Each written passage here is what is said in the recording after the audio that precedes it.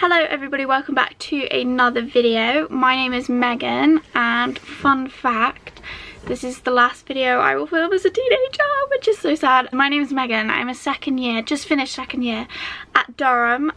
My bed is not made, I'm sorry. I'm too short.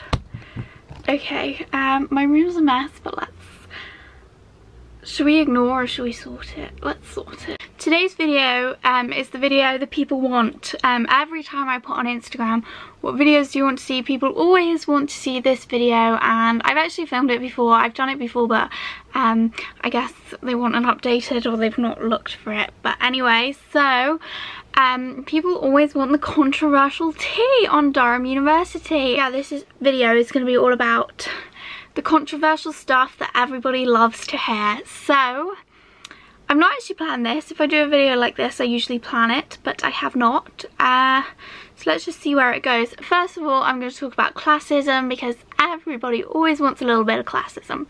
So for a more like in-depth look, you can look at my video last year. This is more like rich versus poor. I know people say like a classism, but class is like very perspective like it's like your personal perspective on what you think class is so it's more like the rich versus the poor type thing. It's just reeling off thoughts like throwing ideas out there seeing where we go. What i would say about classism is Durham is majority like uh, middle upper class people. I think it's like 40% of students in Durham went to private school so that's insane. That doesn't include grammar schools and all sort of stuff like that. So obviously there is a massive population of posh people. Um, I'm not one of them. I am um, Megan. That is literally the fourth time in this video I've said what my name is. Why does anyone care? They don't. Stop it. And, and I'm from North Wales, quite a rough town, always been in state school. Um, I got my offer to Durham through a programme specifically for people in bad state schools um so yeah i definitely don't fall into that. In terms of classism i think the main ways it shows through is people just expect you to have money. If you want to join a society you have to pay um, for a lot of them. I know loads of societies are so expensive and i just think everyone's students so how are people affording this? It's so weird it baffles me. So there's but in terms of other students i think there is often like a expectation that you just have money to throw away. There was a situation a few weeks ago and there was like a group of students they wanted to pay for a cleaner for our house um, and that's just why a cleaner? Why not clean you know um but anyway so and um, I got told like, oh, if you can put £70 into so-and-so's account by tomorrow. I was like, what? I've never even been to a laundrette. Like, I'm not going to pay for a cleaner in my house, okay? So, yeah, there is like sort of not even like in a malicious way but just like an unintentional ignorance where people don't realize that not everybody has the money they have sort of like they couldn't believe that I couldn't just pay £70 with 24 hours notice. So like there is definitely sort of like an unintentional ignorance, I guess because of the, if you've been raised in a private school and like everyone around you's had tons of money then obviously um, it's not something you'd think about that someone wouldn't. But that's what baffles me sometimes is the lack of knowledge people have of people's financial situations or like people just don't seem to know the value of money. Like I, I bumped into a girl on a night out and she, her parents gave her like five grand a month pocket money. Like, what? Where? That's like a full-time job, a good full-time job. Where, where is that money coming from? So many people just have like this endless flow of cash and it's literally insane. Like I, in terms of like well-being from a working class background to hold you back um, I don't think so. I wouldn't say, obviously there are societies where you have to pay to join or um, like players, the nightclub is like £8 to get in, not worth it, don't go. Um, so obviously there are like things like that that are more expensive and you may not be able to experience them but at the same time you can experience like other clubs. Like you don't have to do the expensive stuff. I'm not saying like um oh you have to miss out because you don't have money. This is just what i do. Like i don't do anything really that expensive. Um like i don't join a society if you have to pay and that kind of thing. I'm not like excluding you because I exclude myself. That's the main thing I notice is other people not noticing, like not personally like in my friendship group, but just like there's certain things that the uni does and you're just like how can people afford that but I guess because the majority of the cohort has money then I guess it's not something that crosses their mind.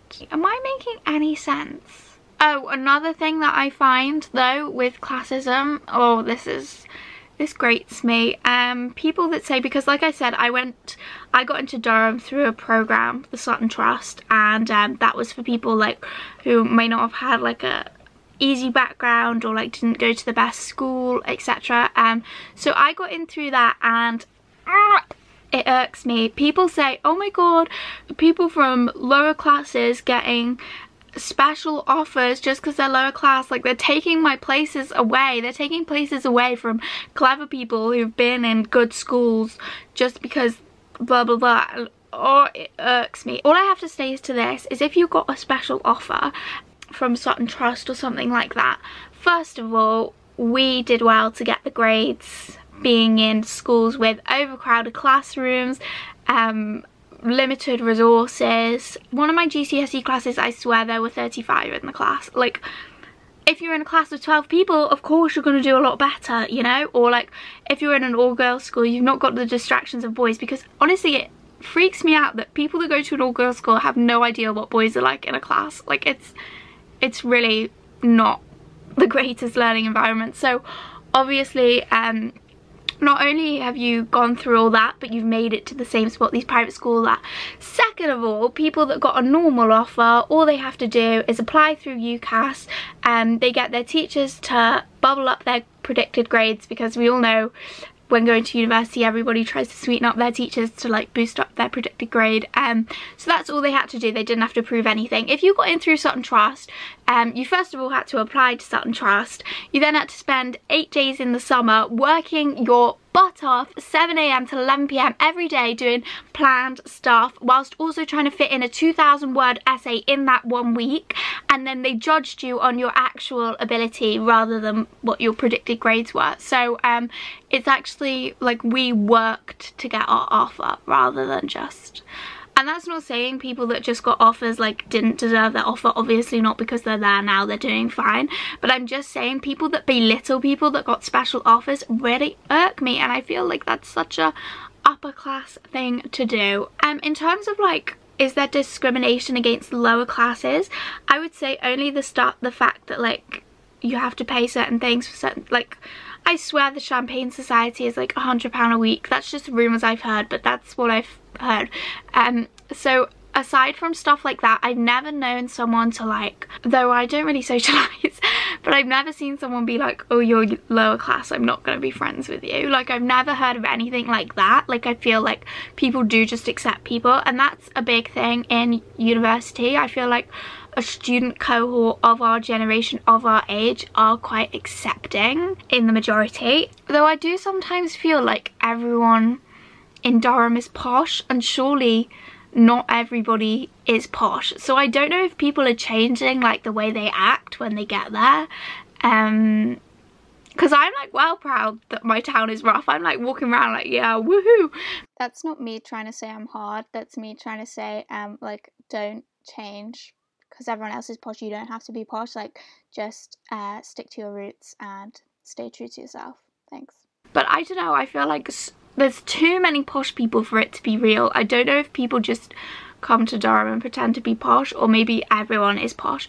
The poshness you see in Durham is like unrivaled. It's a whole new level. I can think of the poshest person in secondary school and they'd probably be really common in Durham, like as in the posh people would be up here, they'd be at the bottom. Like, I, I, it's such a posh place. I swear for the first three formals I went to, I spent the entire time with the person sat next to me teaching me the correct way to drink a glass of wine. And I was like, I don't even like wine. Where's the vodka lemonade? And I've actually been to Prees where people drink single malt whiskey for Prees. there's definitely like people have been raised a bit differently or but like I don't think that holds you back friendship wise I think people can just be friends with whoever oh I do also think though that landlords take advantage because they know that most students have money and would rather pay a problem away. That's one thing I've noticed this year that I didn't notice last year was people like students which is so unusual paying their problems away rather than fixing them. Like that was something i was involved in. Like this group were like oh yeah let's just all pay 70 pound each and this problem will go away. And i was like can't we just fix it like that's and i think landlords know that students in durham are more likely to pay the problem away than fight it which is not cool. Uh, to summarise, I don't think classism stands in the way socially. I just think there's certain parts of Durham where you think, oh, yeah, that's not really suitable for all. But that's normally society's charging that rather than um, like anything else. I don't think there's discrimination socially, like, oh, I won't be your friend because you're from Luton. Also I d I don't know if Luton's rough that just came to me but like I don't think there's anything like that. I don't know though. I don't I'm really cautious when I say this kind of stuff because I'm not a big socialite so I don't really know but I don't think moving on should we talk about sexism? So sexism I think may be a bit of a problem I don't know. It's not like, I feel like it's a problem at a load of universities. Like there was that big scandal in Warwick and things. So it definitely is something that exists. Not with anyone I've ever been associated with. N no one that I've been friends with or spoken to or lived with or anything. But I've heard some disgusting things um, said sexist things said. Like um i was at a formal or a ball or something. It was at a ball and the boys that i was sat next to like my group of friends were here and then there was another group here and i was like because there were five of us i was like the on the end so I was opposite someone from the other group and their group and it was four boys and one girl.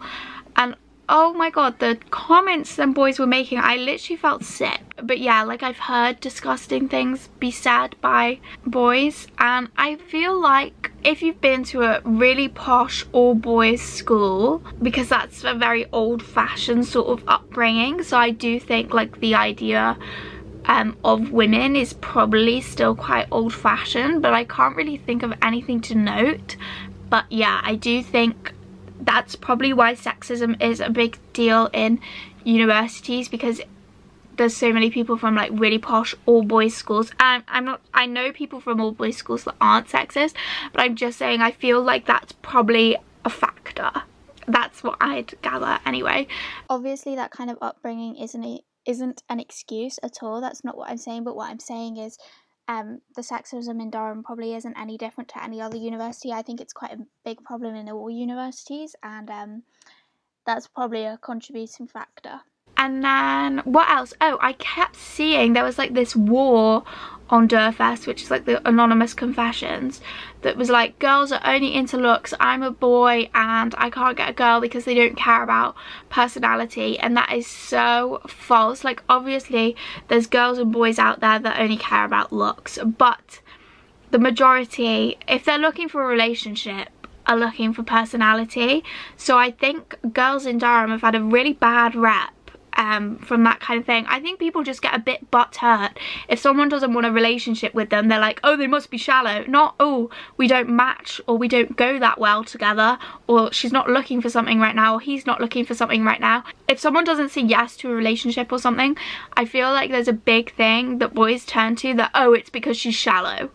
Uh, no, maybe because it wasn't just working. Like, I that annoys me. That obviously doesn't just apply to Durham. That's just me going on a rant, but um, over lockdown there was like a big war on Durfess about that so that's why it ended up in this video. In terms of like lecturers and if like male lecturers are sexist I would say no. I actually think they're really like supportive of girls in the class um, though I guess with a lecturer you don't really get that close contact but yeah I don't think there's any sexism from lecturers though I know that this wouldn't apply to all lecturers because um, obviously there's always a rogue but like in my experience there's not been any issues with um, that kind of thing. So the next two things I've included are homophobia and racism and I'm aware that these aren't really things like these prejudices aren't really things that I've experienced um, so I know I'm not the most knowledgeable person in this kind of thing, but I included it because I knew it would be something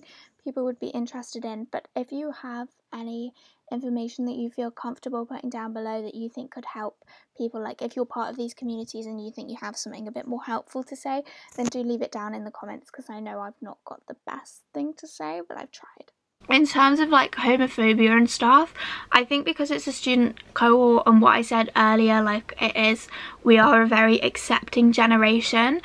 I think it's quite an accepting place for lgbt i think or lgbtq um but obviously i've not experienced so that's one thing i'm very mindful of when i'm talking about this kind of thing just because my experience or from what I've seen has been good or like not affected me. I don't know, I can't speak for everybody, but there's lots of LGBTQ plus societies and lots of uh, feminist societies and things like that. So in terms of all of them kind of things, I feel like the base is there for good respect and acceptance and from what I've seen there's good respect and acceptance but at the same time just because I've never seen anything happen doesn't mean it doesn't happen. And then in terms of racism, like I said, I did a whole video which included a lot about racism in Durham. The one thing I think is with the admissions, is it like 10, 10 black students in the entirety of Durham? I can't remember if it's 10 or 100, but out of 20,000 students, that's not best represented. I didn't go more into racism in this video because I had quite a well thought out uh, Black Lives Matter video with a lot about racism in Durham a few weeks ago. Um, so because I didn't plan out this video, I didn't want to say anything that like wasn't planned and respectful and things like that. So that's why it's not gone into that much in this video. So you can check out the other video um, where I talk about that so yeah that's all like the controversial stuff that people always tell me on instagram they want to know about so i guess that's that. So that's the end of this video. I hope you enjoyed it. I hope it answered the questions. I didn't do like individual questions that i'd got on the instagram. It was a few weeks ago on my story. I didn't do like individual questions but i tried to answer it so that each question was like included in the video. So I hope you enjoyed. If you did, don't forget to like, comment and subscribe. Fun fact, tomorrow is my birthday and um, I shall see you in the next video. Also, disclaimer, all opinions are my own. I can only speak on my own experiences. So if something is wrong, say if you've experienced something, um, or maybe if you feel comfortable and you feel like people might want to know, you can leave it in the comments or that kind of thing because um, I do realise I'm quite privileged, I'm white, I'm from like a comfortable financial situation um, and things like that so I can't really speak for everyone and I don't represent everybody. If you have anything you might want to share from your own experiences do let me know in the comments and that might help other people.